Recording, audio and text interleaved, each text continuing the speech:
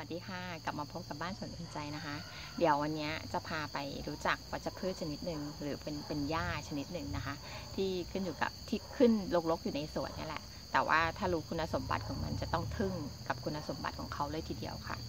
คือตัวนี้คือเป็นหญ้าดอกขาวหรือว่าหญ้าหมอน้อยนะคะออตอนนี้เดี๋ยวจะเก็บไปเพื่อที่จะเอาไปทำเป็นชานะคะ เป็นชาแล้วก็เอาไว้ต้มให้คุณสามีดื่มนะคะช่วยลด การอยากความอยากบุหรี่ได้นะคะ ตัวนี้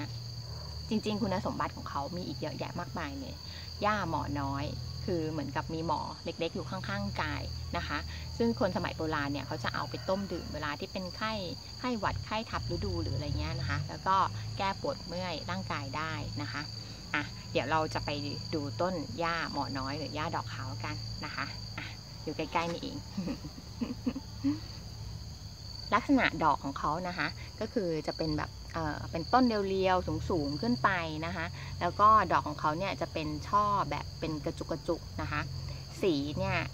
จะเป็นสีชมพูอมม่วงนะคะ เมื่อเขาแก่ๆไปอะคะ่ะเขาก็จะกลายเป็นสีขาวเนี่ยจะเป็นปุยๆสีขาว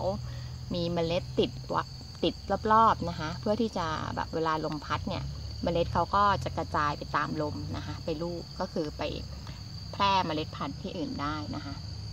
ตัวเนี้ยจริงๆอะถ้าใครเห็นนะเห็นดอกเขาก็จะรู้แหละว่า เอ๊ที่บ้านฉันก็มีที่สวนฉันก็มี หรือว่าตามหญ้ารกๆข้างทางก็มีนะคะ คือตัวเนี้ยถ้าสมมติว่าเราไม่ได้ใช้ยาฆ่าหญ้านะคะ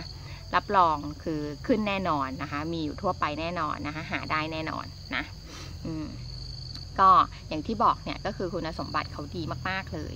แต่เดี๋ยวเราจะเด็ดไปคือจะถอนไปทั้งรากเลยนะคะก็คือใช้ได้หมดรากต้นใบดอกผลนะคะใช้ได้ทั้ง 5 ส่วนเลย ก็คือมีคุณสมบัติทางยาได้ทั้ง 5 ส่วนนะคะ ก็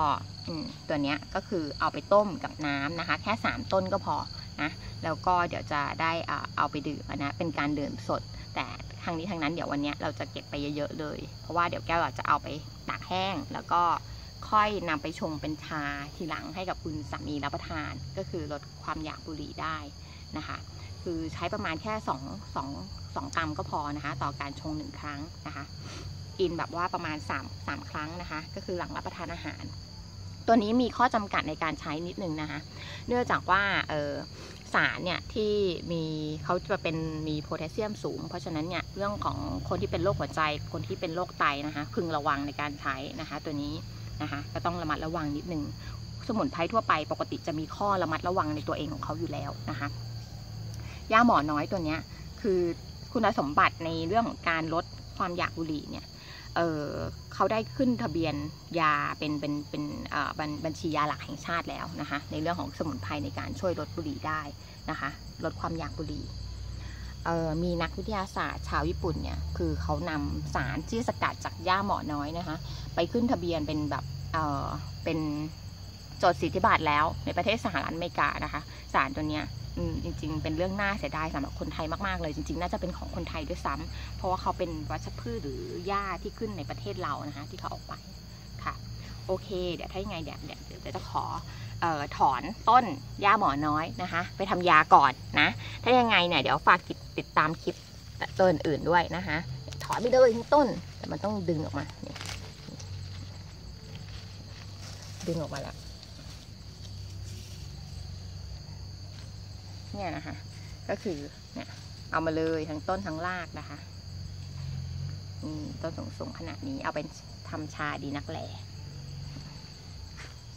โอเค บ๊ายบายค่ะ